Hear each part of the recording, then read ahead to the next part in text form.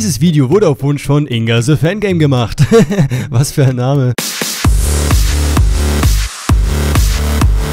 So, du willst also wissen, wie man ein richtiger Otaku wird? Da kann ich dir helfen. Doch erst einmal, was ist ein Otaku? Mit Otaku bezeichnet man im Japanischen die Fans, die großen Maß an Zeit und Geld für ihre Leidenschaft aufwenden und ihr mit großer Neugier nachgehen. Es wird ähnlich wie das englische Wort Nerd oder Geek benutzt. Quelle Wikipedia.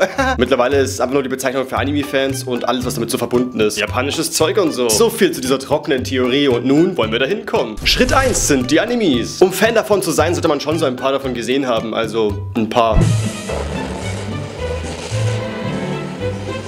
Was ist das für eine Scheiße? Warum können die Menschen in Animes fliegen? Warum haben die dort lila, blaue, grüne, blaue, samlane Haare? Egal, ich bin ein wahrer Otaku und natürlich gefällt mir das.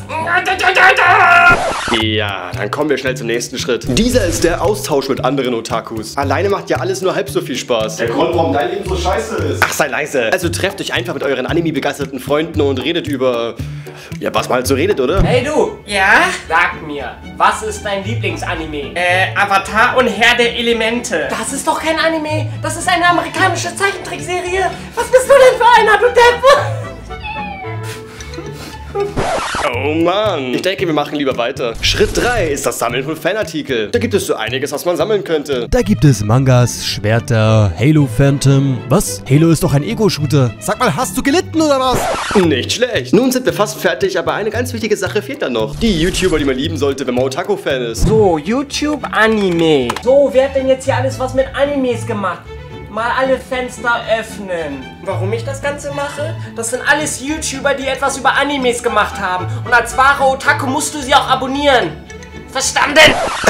Das war doch kein Joke, das versteht ihr doch, oder? Nein? Gut, dann kommen wir nun wie immer zur Erkenntnis. Ich persönlich finde es total toll, wenn man sich für eine Sache so begeistern kann. Allerdings sollte man schauen, dass es nicht ins Extreme reingeht. Nur weil etwas aus Japan kommt, muss es nicht gleichzeitig total gut sein. Generell kann man das Ganze nicht nur auf Otaku beziehen, sondern auf jede Fangemeinde, also auch hier auf YouTube. Jo Leute, mein Name ist Tier und vielen Dank an SEO, dass ich mal in einem seiner Videos mitmachen durfte. Falls ihr mich unlustig fandet, auf meinem Kanal mache ich noch unlustigere Videos. Schaut einfach mal vorbei, falls es euch interessiert. Ansonsten habe ich mit SEO auf meinem Kanal auch noch zusammen ein Video gedreht. Schaut einfach mal vorbei und checkt das ab. Vielen Dank fürs Zuschauen, Leute.